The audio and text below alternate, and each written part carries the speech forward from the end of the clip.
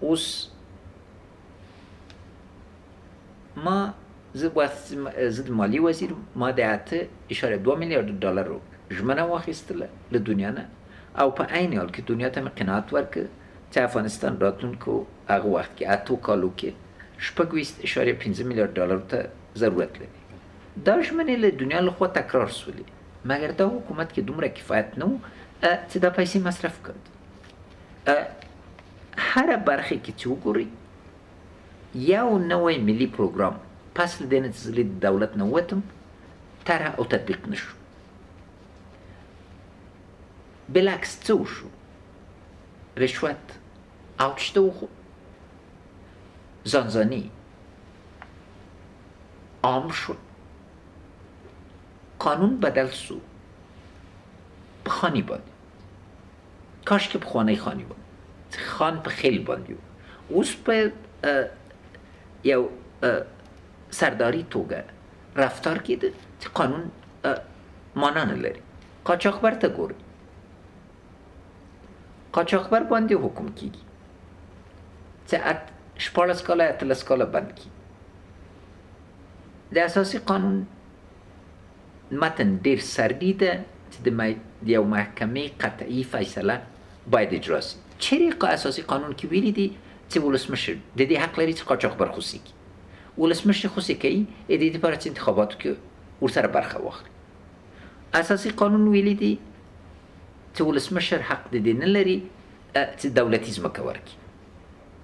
سري متن د اساسي قانون ده. ولسمشر ټکی په زر حجر به ځمکه بخي اساسي قانون ویلي صلاحیت د رئیس جمهور واضح ده چې وړاندیز د انتخاب د وزیر کوي سي اما صلاحیت د ولسی جرګې ده چې وی منی کنه منی ولسی جرګه وزیر رد کوي رئیس څه کوي هغه سرپرست مقرر کوي د سرپرست مانا څه ده؟ د قانون په تر پښو کولو باندې. نو په دې اساس باندې که وګورئ دا ټول په څه باندې ټولیږي؟ یو فاسد نظام باندې. او بیا راسي خاصه توګه باندې د افغانستان جنوب ته وګورو. هلمند ته، ارزګان ته، قندار ته، زابل ته. درې کاله خلکورو بله خلکو په انتخابات کې ګټه برخه واخیست خلکو کرزی صاحب ته رای ورکړ خلکو دعاګانې کولې چې کرزی صاحب د بریالی شي کرزی صاحب څه وکړل داسې اشخاص ولسوالو والیو قوماندان وټاکل چې هغوی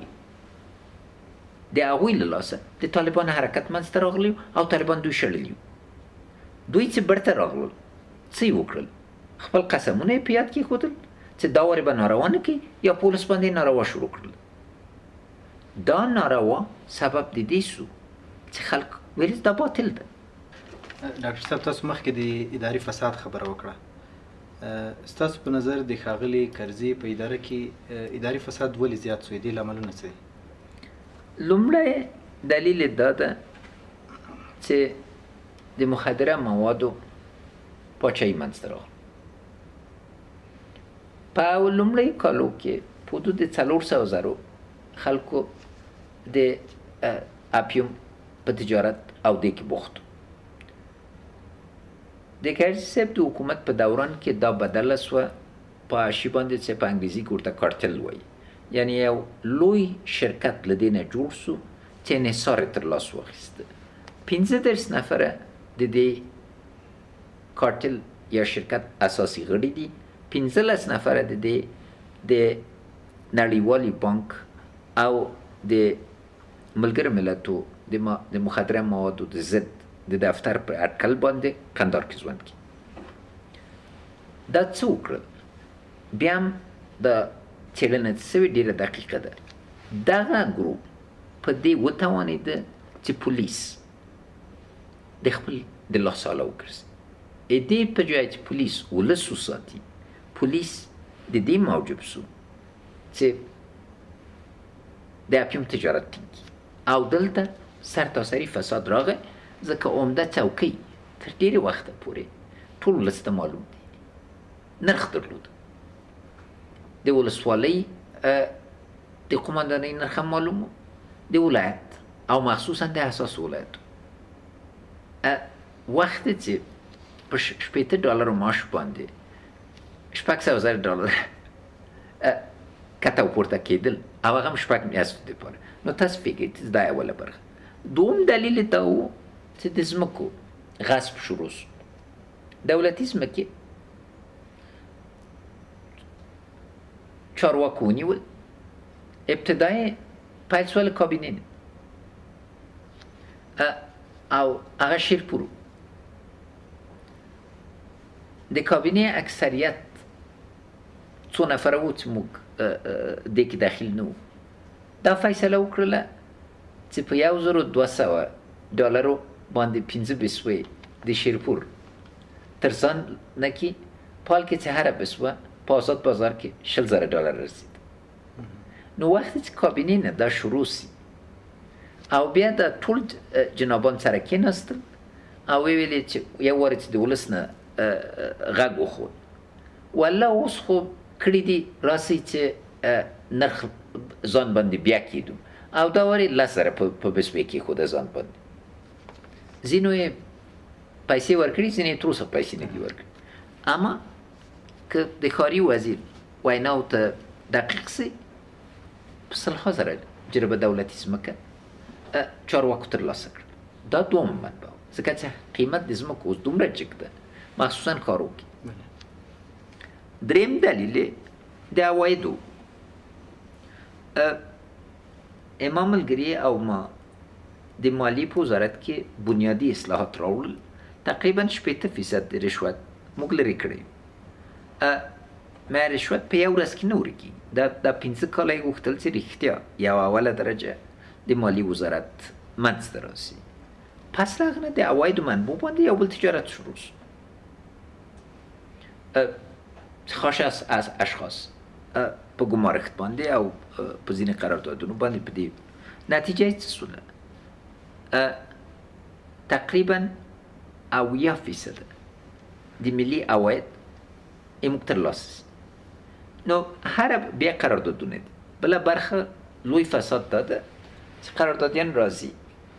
او د یو امضا دپاره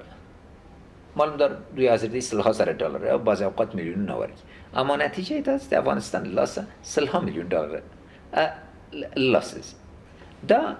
په پورته کچه اداری فساد ده اما اصلی اصل دا ده دا علایم دی علت څه ده علت دا ده چې پښتنه نسته زموږ ټولنه کې یو ډیر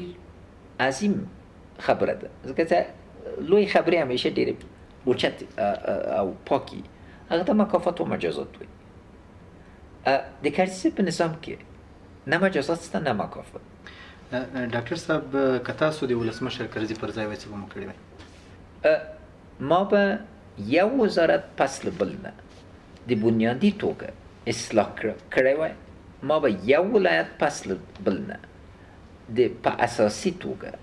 اصلاح کړی وای او ما به ځان قانون ته تسلیم کړی وای اما دریز به دا و چې کم له کم شل نفره به مې روزلي وای چې ما ځای ونیسي ما به یوه ډیره اساسي ستراتیژي په اساس باندې د افغانستان هر ګوټ ته په یو نظر کتل او دا شرایط به مې برابرول چې د افغانستان ملي حاکمیت په اساسي توګه ټینګ سي او موږ د داسې یو دولت، اقتصاد او ملت جوړونې پروسه پیل کړو چې د هغه په اساس باندې یو موټی افغانستان، موړ افغانستان، روغ افغانستان د موږ راتلونکی ډاکټر صاحب را بسو د ټولټاکنو برخې ته له ډیرو خلکو سره د ټولټاکنو د شفافیت په اړه اندېښنې موجودې دي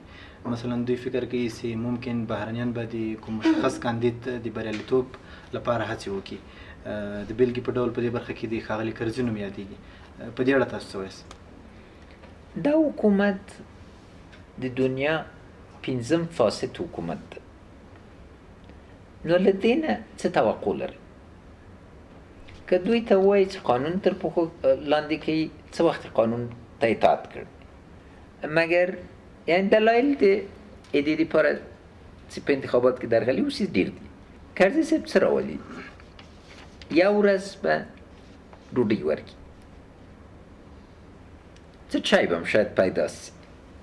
او یو څو روپۍ به هم په جیب کې زه څه غواړم زه غواړم د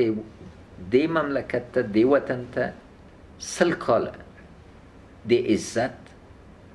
د ډوډۍ ورکم چې دوی وکړای سي خپله ماړه سي او بيا هيڅ وخت دې ته محتاج نه يي چې د يو مړۍ ډوډۍ لپاره خپل حق او امانت تر پښو لاندې کړي. ستاسو د برياليتوب په صورت کې د ولس له ستونزو د خبرېدو لپاره به له ولس سره مستقيم تماس ولرئ او که به په څو مشاورينو اتکا کوئ؟ نه، بالعکس